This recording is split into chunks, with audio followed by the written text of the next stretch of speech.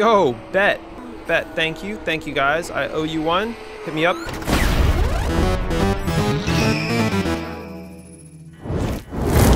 This is the card, this is the track, and this is Shaq on the ground at a game trying to get up. Taking a charge? Have you ever seen that?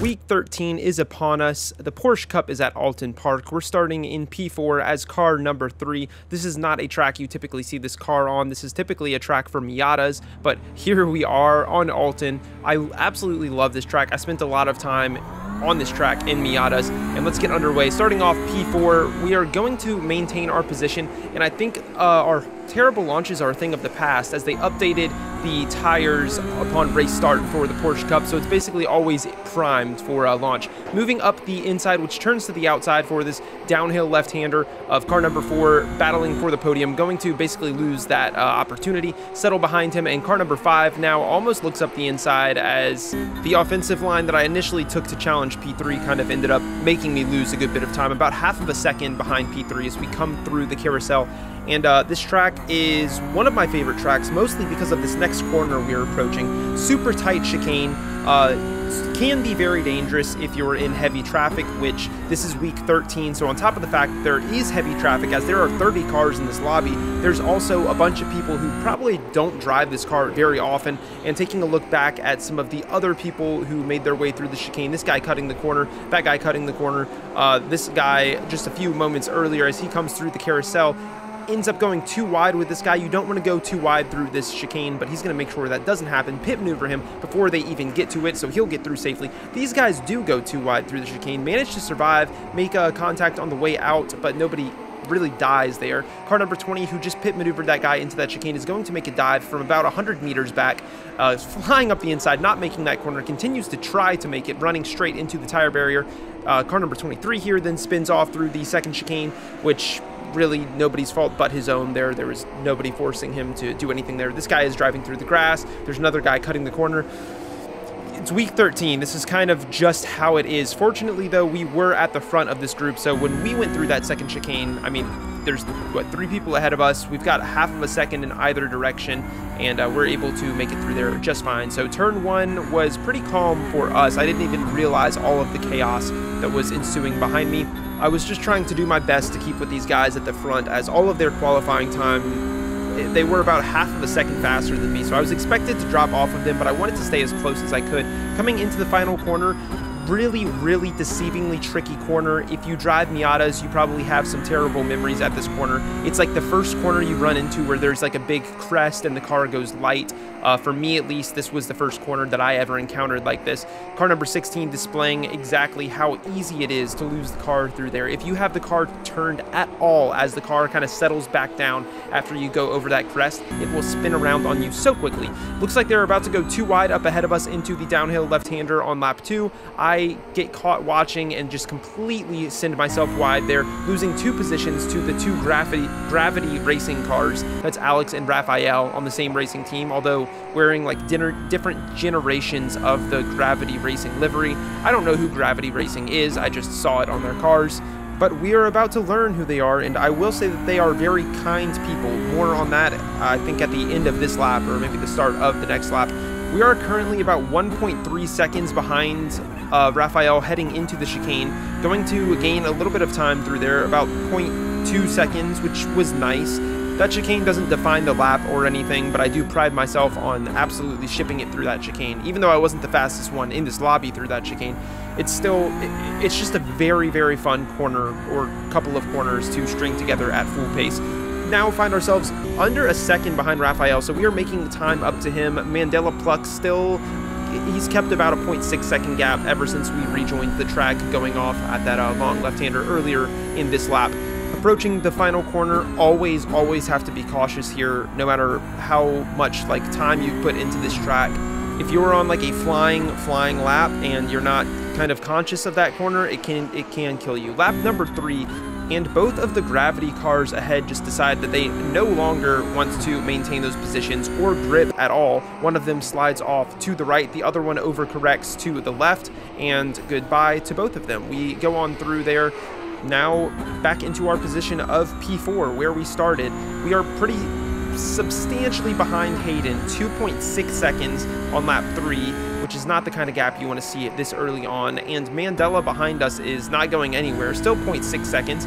And Hayden decides to make this interesting, driving off of the track and rejoining, losing about a second there, slightly over a second even. And this is kind of my chance now to try and continue to close this gap, get into his head the idea that, you know, maybe I'm faster and maybe that eats away at him over the course of this race through the chicane. And we actually do gain a little bit of time there, so I'm feeling good at this point, uh, coming into this next chicane, and he's going to start to get back into the rhythm of things.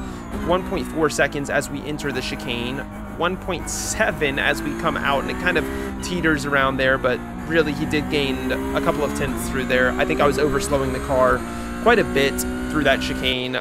Fast forwarding to lap number four, and we are going to turn our attention not towards P3, but P2. This is, I think his name is Victor, and he's like a 7 or 6K or 5K. I don't know. He's a very highly rated driver, but through that final corner, like I said, it will kill everybody, and boom, there you go. Just leaving the wheel slightly too much to the right as the car settles down and the suspension compresses backing across the track as we come through, uh, realizes in time, thank God, and we're able to survive. So we are now up into P3. By the time lap number five comes around, Hayden pulling away a little bit, and Mandela still pretty close to us, about a second behind, but it's going to change coming through the chicane, and he just does not get the car stopped in time. That will open up quite a gap for us and relieve any pressure, which, I mean, honestly, I kind of forgotten that he was back there. I felt confident in my pace, but I was one mistake away from losing that position. However, now he is four seconds behind, so I'm probably two or three mistakes, depending on the gravity of the mistake uh, from losing that position. Lap number seven, still chasing Hayden down. We've managed to keep him around that same gap. I think our pace has evened out.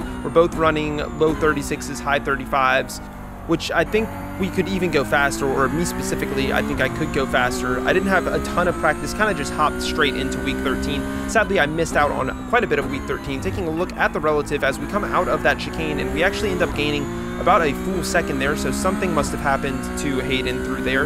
We're now find ourselves less than a second and a half heading through the second chicane. He seemed to be faster on most occasions through here. However, we do have the momentum currently of, I mean, we just gained a second to him through those last couple of corners, and sometimes that builds confidence and uh, doubt in the head of yourself and your opponents respectively. Lap number nine, so the penultimate lap coming through that long left-hander that leads onto the straight. We've got about 1.2 seconds to Hayden, which is good. I would say I'm kind of like rimming slipstream at this point, so just barely picking it up. And it doesn't seem to be doing much, but I, I promise it's probably doing something. Hayden, once again, same spot, goes wide, and that is going to close up the gap substantially, about a second gain there for us through the carousel. 0.4 seconds. The slipstream should be pretty heavy at this point. I got to be slightly cautious coming through the chicane now. There is some dirty, dirty air that I'm going through there. And uh, maintaining about 0.4 seconds behind him. Absolutely perfect. We've got one more lap to get this done. Honestly, it's a pretty hard... Um, track to overtake on if you are on similar pace to somebody you're really relying on a mistake you can, of course, force an error or force yourself into a situation, but you still have to be just about as fast, if not faster, than somebody in order to catch them at all here. However, we seem to be on the right track, half a second to them, and uh, looking back on it, perhaps I should have been just even faking like a dive here or there a bit more often. I didn't, I didn't really, it, it didn't cross my mind for whatever reason. I had been seeing him make some mistakes over the past few laps, and I was hoping that that trend would continue. 0.6 seconds, you know, one more mistake from him, and that should be the position for me. Crossing onto the final lap, and watching this back, I regret not trying to force a mistake. I mean, like I said, he's been making mistakes, but uh, you know, I can't rely on somebody to make a mistake to get a position. I should have been pushing. I, I, eventually, on the last corner, just do a little tiny baby tease there, and he actually goes super deep, loses a ton of speed, and it makes me think now that had I been doing that on a few other corners, I probably could have forced an error earlier or uh, just opened up an opportunity for myself. Doesn't happen though, and we end up crossing the line in P3 lesson learned, I guess. I just need to be more aggressive. I seem to have lost that dog in me that just constantly wants to fight. Now, skipping back to lap number two, I know I showed a lot of carnage already, but there was much more. I don't even think I was able to get all of the carnage recorded because there was just too much. But here's some of it. Car number 18 catching up to car number 6, looking up the inside for the chicane very difficult to go too wide through here, and it's not going to end well for this guy. He gets absolutely bunced into the barrier, rejoins the track in front of this guy who, props to car number 23, had literally no reaction to that, did not get on the mic, did not get on text chat. Uh, car number 18 then goes on to spin out half of a corner later after cutting the chicane, and then he ends up quitting, overcome with shame. Lap number 5, this is middle of the pack. Car number 14 finds his way side by side with this Martini guy, heading towards that first chicane, super tight chicane. Very, very difficult to uh, go too wide through here. Not even going to make it that far as the very slight contact on entry sent him around into the barrier. Car number 25, tailed by car number 22 moments later through the same chicane. 25 begins to spin, 2 helps him out and sends him all of the way around. And look at this. 25 just about deciding to rejoin before changing his mind and just giving out free off tracks for almost the entirety of the grid. It's like seven or eight people there, all picking up off tracks. Lap number eight and car number six, who got into that incident earlier with, I think it was car number 18, now looking for an almighty dive on the Tic Tac polka dot car runs into the back of him and gets spun around on the carousel. Luckily, he's able to rejoin, and 22 is pretty patient here to give him space and time, actually getting on the brakes and letting 6 pull away, so some sort of tragedy avoided there.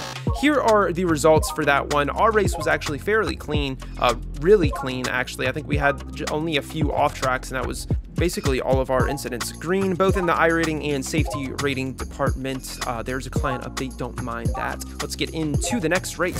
So back at Oulton Park, this time as car number four, starting in P2 with a 35.3, still six tenths behind Julin, who won the last race. Joey has decided to join us this race with about zero practice, and he has qualified on P6. Lap number one, I'm just hoping to separate myself from the rest of the grid here, follow behind the leader, and potentially avoid an accident. That would be fantastic. Look at this launch. It's so good. The launches are so much easier in this car now. It's amazing. My life is going to be so much easier uh, this season. Joey staying in P6 as they make it around the first few corners, and uh, we maintain our position in P2. It seems like everybody is kind of maintaining their positions much easier. There's a lot less wheel spin and differentiation between people's races. However, we are by no means out of or in the clear as everybody is about three tenths behind each other here. So super tight grid right now, but that's going to be separated a little bit here as Luis Miranda looking up the inside on lap one of the gravity car ends up making contact with him. Joey makes contact with Luis and kind of pushes him through and the gravity car now kind of gets caught on the outside there. Joey very smart here to back out and basically ensure that everybody survives there. Could have been worse. That does open up a pretty big gap behind P3 to P4, so we still have the pressure of P3, but relieving that pressure of P4 is pretty major for me, as I don't know if you remember Luis, but he's murdered us a lot.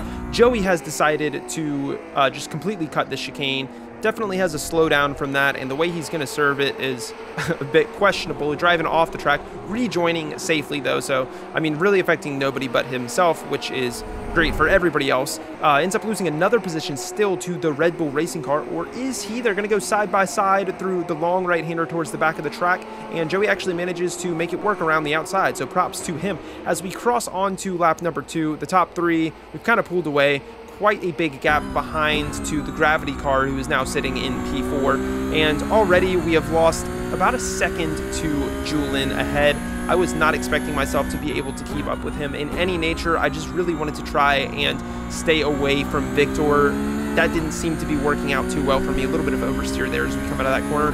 And uh, that paired with the amount of slipstream that Victor has being 0.1 seconds behind us heading towards the carousel, I figured would open up an opportunity here. And I'm actually just going to drive wide and let him have this position. I know that he's fast. I've driven with him before. He spun out in the last race, but had he not done that, he probably would have finished P2. So I decided, you know what, I can try and follow him, take his slipstream, and possibly get a move done later. I had no pressure from behind about two seconds, so I felt safe to just kind of cruise with this guy, and I trusted his pace.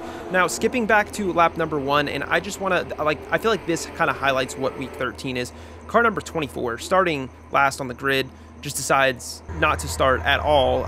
Gets on the throttle literally five, six seconds after the light goes green. Car number eight up ahead of them into the first turn, runs into somebody, runs into somebody else, sends this guy off to the side. This guy seems like he just stops driving, lets go of the wheel or something. So 24 actually picks up a position from there. There's somebody who decided to start in the pits, uh, and he's going to be following him through as they go through. I think that's the third corner there. Two people off on the side. We'll take a look back to see how they got there. Car number 14, super ambitious move there, kind of got what he deserved. Car number 8 and 19 have a little come together on the exit of that corner, and 19 really pays the ultimate price there. Lap number 2 and car number 24, he's like moved up to P16 or something at this point. Somebody's just driving off to the side there. Another guy just spins out, so he's up to, I don't know, P, I, I want to say he's around P, P12 at this point, moving up the inside of this guy, too wide through the chicane. Doesn't make it work, but props for trying. And I mean, that was about as clean of an attempt as you'll see right there.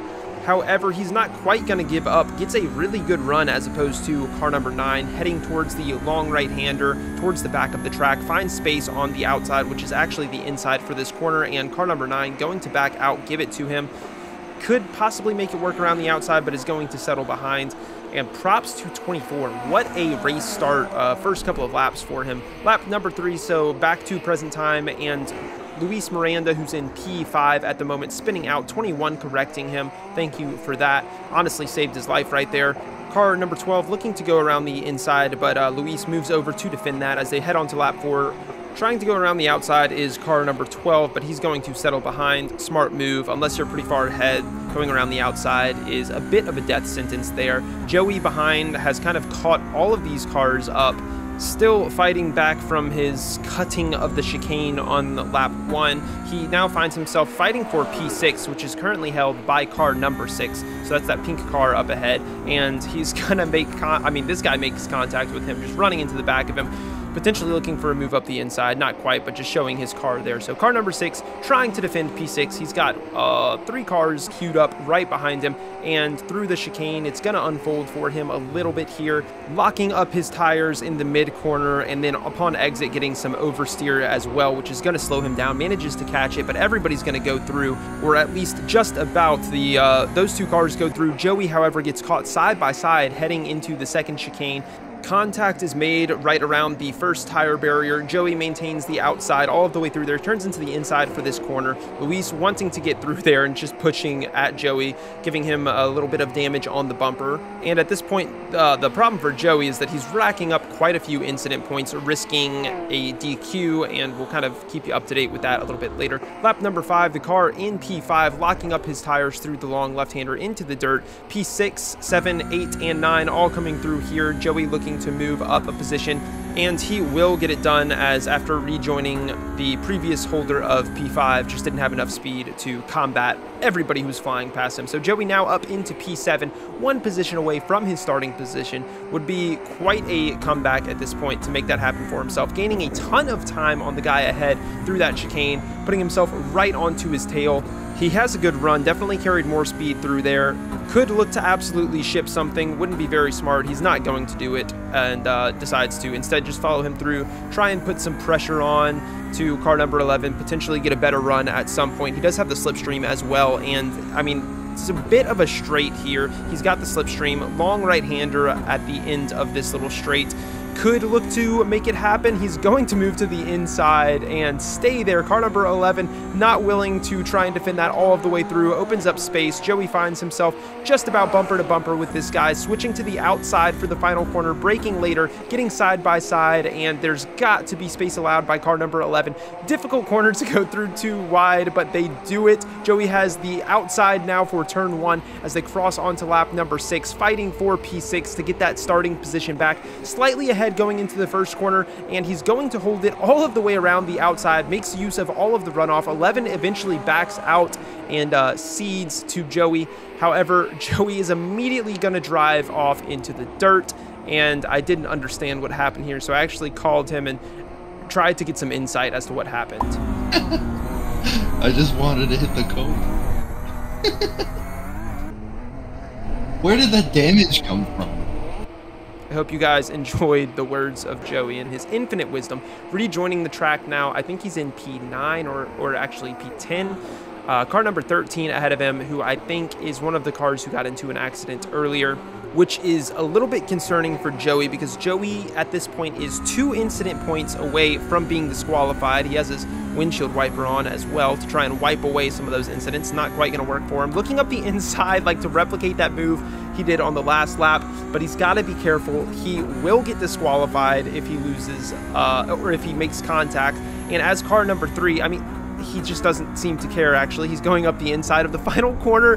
I don't know if that was an off track, but he manages to get his car side by side. He has the inside for turn one, and he is just going to drive into this guy instead and get disqualified. okay. oh god. Uh, I don't even. I don't even. I was so mad at this guy in the moment because I swear I thought he was like creeping on me, but then I looked back and I, I felt so stupid. Car number 13 was able to continue the race. And look at this. That was car number 24, that guy from the beginning. He's up into like P10 or something at this point. I don't really know.